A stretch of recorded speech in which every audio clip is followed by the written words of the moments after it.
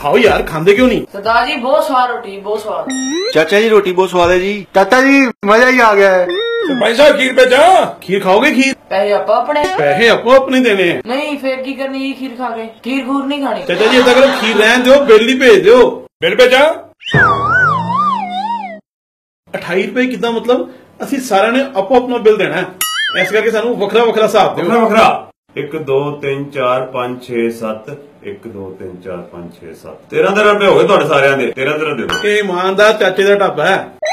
Total 28 ਰੁਪਏ ਉਹ ਸਾਰਿਆਂ ਦੇ 13 13 ਉਹ ਕਿੱਦਾਂ ਬਣੇ ਬਈ? ਨਹੀਂ ਤੁਹਾਨੂੰ ਸਾਡੀ ਇਮਾਨਦਾਰੀ ਦੀ ਸ਼ੱਕ ਹੈ? ਦੱਸੋ ਕਿੱਦਾਂ ਬਣੇ? ਜੇ ਜ਼ਿਆਦਾ ਸਾਡੀ ਇਮਾਨਦਾਰੀ ਦੀ ਸ਼ੱਕ ਹੈ ਨਾ ਚਾਚਾ ਜੀ ਆ ਆ ਜਾਓ ਚਲੋ ਉਧਰ ਹੀ ਆ ਜਾਓ। ਹਾਂਜੀ ਮੈਂ ਕਿੰਨੇ ਗਏ ਸੀ? 28 ਰੁਪਏ। 28 ਰੁਪਏ।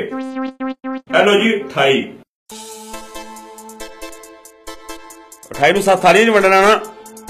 ਇਹ ਸੱਤ ਨਾਲ ਕਰ ਦੋ ਨੂੰ ਤਕਸੀਮ। ਸੱਤ ਏਕਮ ਕਿੰਨੇ ਹੁੰਦੇ ਜੀ? ਹੈਲੋ ਸੱਤ ਏਕਮ 7 ਬਾਕੀ ਬਚੇ 21 ਹੈਲੋ 21 ਸਤੁਤੀਆ ਸਤੁਤੀਆ ਕਿੰਨੇ ਹੁੰਦੇ? ਸਤੁਤੀਆ 21 ਹੈਲੋ ਸਤੁਤੀਆ 21 ਥੱਲੇ ਆ ਗਿਆ ਕਾਟਾ। ਚਾਚਾ ਜੀ ਇਹ ਗੱਲ ਕੀ ਬਣੀ? ਮੈਨੂੰ ਤੇ ਇਹ ਹਿਸਾਬ ਗਲਤ ਲੱਗਦਾ ਪਿਆ ਮੈਨੂੰ। ਤੁਹਾਨੂੰ ਕੋਈ ਸ਼ੱਕ ਹੈ ਜੇ ਵੀ? ਤੁਸੀਂ ਹਿਸਾਬ ਕਰਕੇ ਦੱਸੋ। ਆਪਾਂ ਦੂਜੇ ਦਿਨ ਲਗਾ ਲੈਨੇ ਆ ਲਓ। ਕਿੰਨੇ ਬੰਦੇ ਸੀ ਆਪਾਂ? 7 ਸੱਤ ਵਾਲੀਆਂ ਨਾ? ਹਾਂ। ਆ ਲਓ। ਹੁਣੇ ਤਸੱਲੀ ਕਰ ਦਿੰਨੇ ਆ। ਇੱਕ ਦੋ ਤਿੰਨ ਚਾਰ ਪੰਜ 6 7 ਆ ਲਓ ਆ ਧਿਆਨ ਰੱਖੋ ਇੱਧਰ। ਹਾਂਜੀ।